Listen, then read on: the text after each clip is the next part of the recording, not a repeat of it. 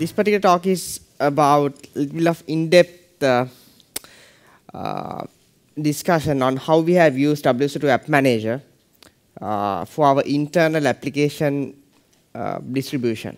Right?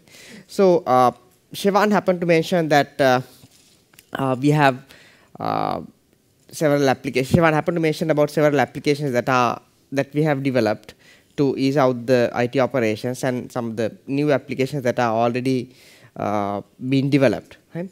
So uh, what I'm going to do is like there are two main sections. First, I'm going to show you certain set of screens that tells you a story, right? And then go into a little bit of technical discussion on some of the capabilities that this particular product is offering. So to start with, uh, yes, let's just assume that uh, this particular case, uh, I'm Siri from WSO2 sales team. Right? So this particular statement has several things that are relevant to our, our IT operation. Right? So there's a username that gives an enterprise identity, the user, Siri. Right? And then there's an organization and sales team denotes set of permissions. Right? Now this goes into our internal LDAP so that all our users are kept in there with the identity. So Shivan mentioned about the automatic provisioning that happens, right? Now when somebody joins in, that provisioning happens there, right? So the statements becomes true. Then uh, when I join in, and when Siri joins in rather, uh, when he or she wants to access the applications that he is supposed to see, there's this particular deployed uh, website, apps.wso.com. This is basically the app manager's front store, right? So this is a public application you, which you can access, but you wouldn't be able to log in because it's not you don't have an internal WSO2 account. So we log in, and then this uh, the home page a little bit boring, but you click on the login in, and you will be taken into our centrally managed IDP. Right? So basically, uh, uh, now this is the central ID, ID login page for any application within WSO2, even for the Google Apps. Now we, we, we, we push all the users to be logged in to be logged in through this one and recently we have implemented multi-factor authentication so that uh, uh, you also need a, need consent from your phone all using WSO2 identity service capabilities of supporting multi-factor authentication. So you log in here, right? What this mean? What this would mean is uh, you get single signed on to all the applications that this particular store will be hosting. So once you go in here, uh, right now we have like uh, 25 internal applications done for various purposes. So some of those things are like uh, these are HR system, right? So uh, like uh, we have our own internal cloud, OpenStack. If you want to like create a cloud instance for any testing purposes, you go in there. Uh, if like we are working late or if you want to like order dinner, there's a dinner ordering application. Uh, then uh, our uh, bill server uh, to push certain bills. The Concur that uh, Siobhan mentioned. Then uh, allocation tracker right here, allocation request form. So these are basically Google Forms uh, but like what we have done is we have hidden the Google form URL from anybody else and given a proxy link from here. Uh, so likewise, applications that uh, belongs to various uh, operational uh, scenarios in WSO2 are listed here based on the permission that I'm having. Okay? And uh, if I go to my subscriptions, I can see the applications that I am supposed to see. Now what this means is there are certain set of applications that I'm I'm already been provisioned so I don't have to go in and manually select different different applications but rather those applications are already in my uh, basket right?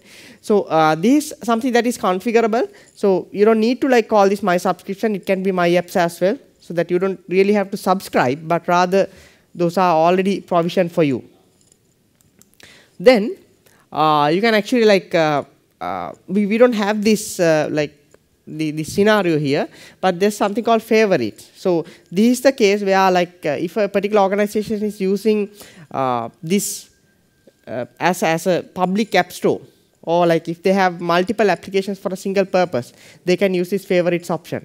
So if you go to Google Play, you see the favorites option. If you want to like select a particular application, you go by the most favorite application. And uh, basically, you can tag the applications so that like uh, uh, HR people don't have to go through all the technical applications that are listed out there, but select on the HR tag or the sales guys, uh, engineering, etc.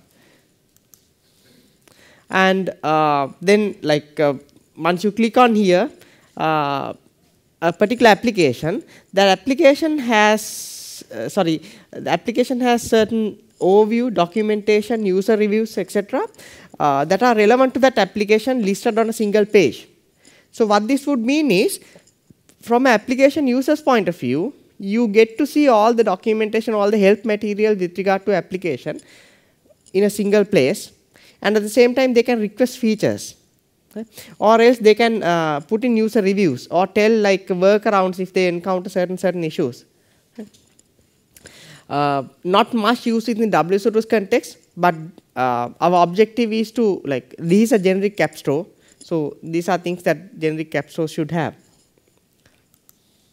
Then uh, once I click on this particular application, so basically uh, this application is called patch management tool, right? So the uh, the context is like whenever we issue a patch to a cluster customer, uh, you guys, we have our internal application that manages which tells like uh, what is the product version that this was given to which customers we have given this, what was the issue, etc. Right? Uh, Jira issue. So uh, basically now I want to like access the patch management application. I'll be uh, redirected to the real application. So uh, okay, I don't have the URL listed here, but this is apps.wso2.com. And after that, I get redirected into the real application. So just take a look at the uh, the, the the difference here. It's gateway.wso2.com and PMT sta stand for patch management tool. So now you are in the real application uh, and uh, uh, without any login required because you have already single signed on. And uh, this bit of like technical stuff which I'll explain. Uh, so basically like uh, like once I'm on this page, if I open up my SAML browser, I would see the SAML response that was like passed on to me by the, uh, the, the App Store. Uh, and this application has written in such way so that whenever it gets a SAML response, it automatically uh, single signs on you. So what just happened? Uh, basically, I accessed an enterprise application store right, and get, logged into the central IDP and then got single sign on to all the enterprise applications. Now this is a very common scenario in, in any, any enterprise. And there are like multiple uh, reasons why this, this solves different problems. First of all, uh, I see everything that I need to be seen in a single place. Then uh, I only use a single set of credentials, which is great. And uh, then I also like have a place where I can request certain things. I can request for help and I also see documentation and everything. And I also can give feedback into developers. Right? So for example, in the, in the, in the allocation uh, application, uh, we actually have an internal version of the allocation application that we haven't published to everybody else. Uh, basically, like uh, Shivan and the team are actually sending requests into the development team using the uh, review feedback to get certain features implemented. So these like obviously this is a common pattern within any enterprise. Right? So uh, I somewhere read like uh, IBM is having somewhere close to 30,000 applications used internally, and uh, uh probably like uh, uh, it's it is a, a common common problem in different different enterprises, which is not solved at a central level. Right? So app discovery, the particular problem that uh, Siri faced is actually having a pattern.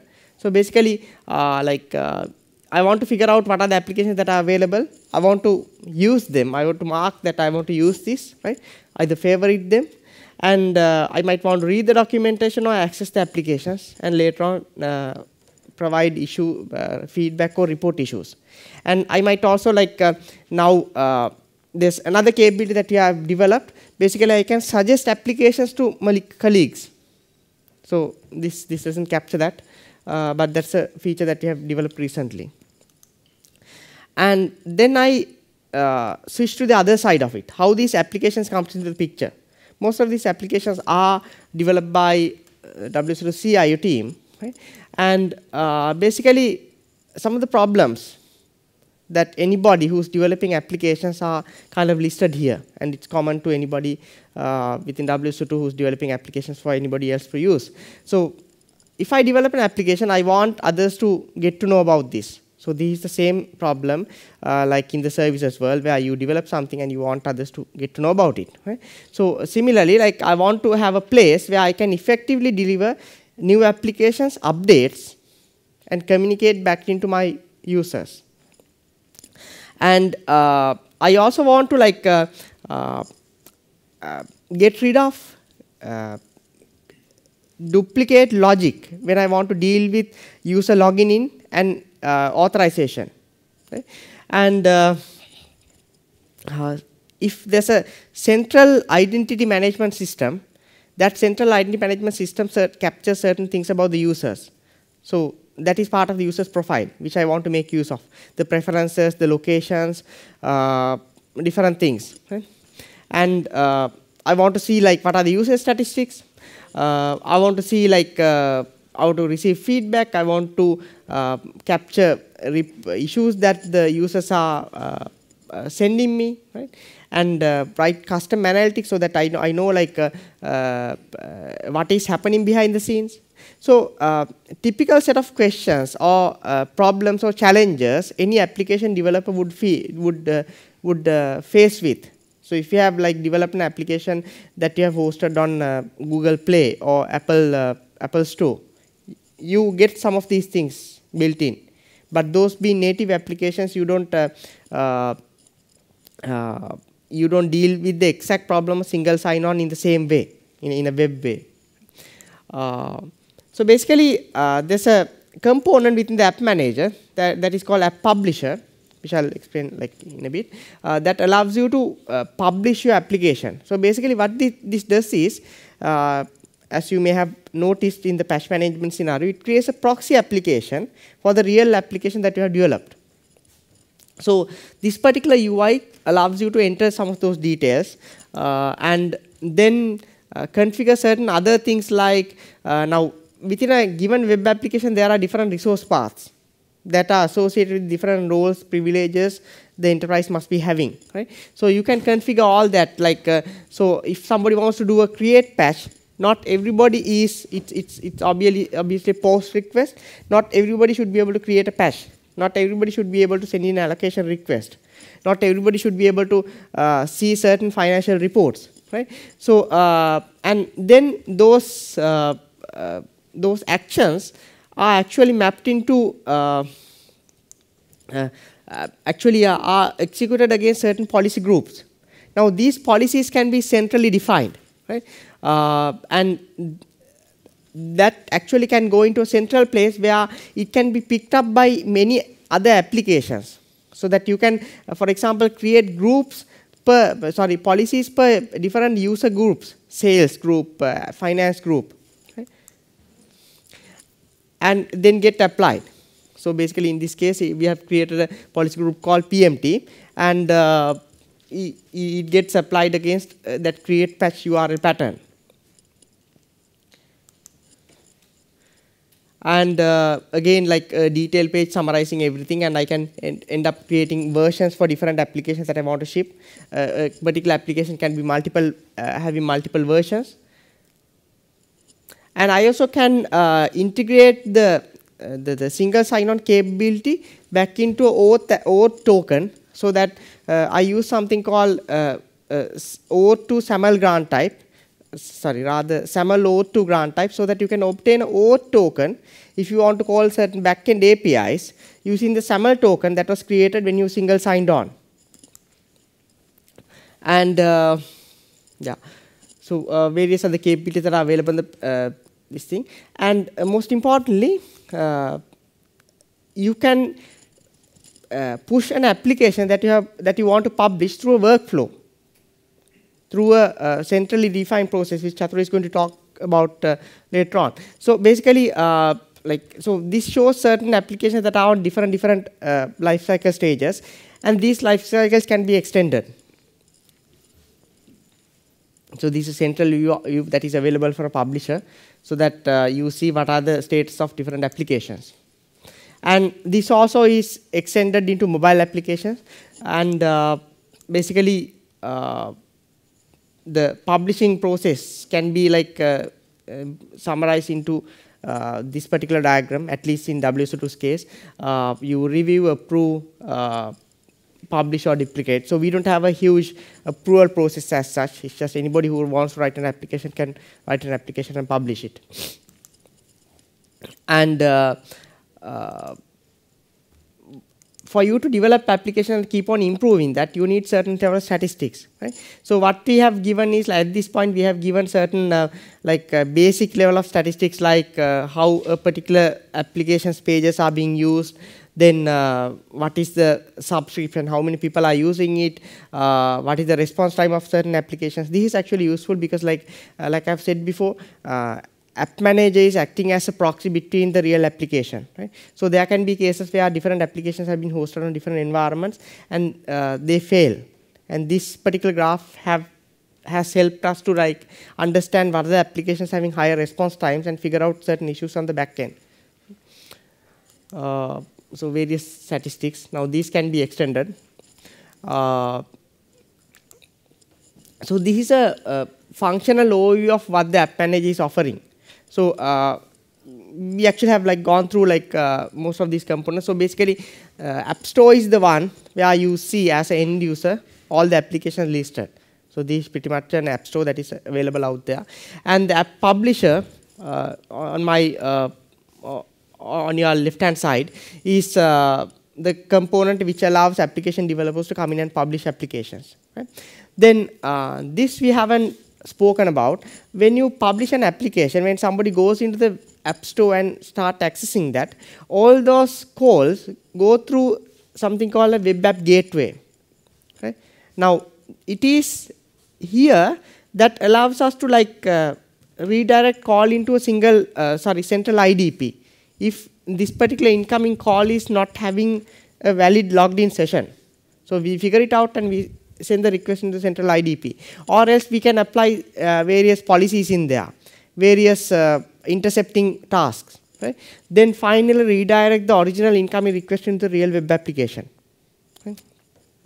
So, uh, uh and also like capture analytics, or rather capture statistics uh, that leads into analytics.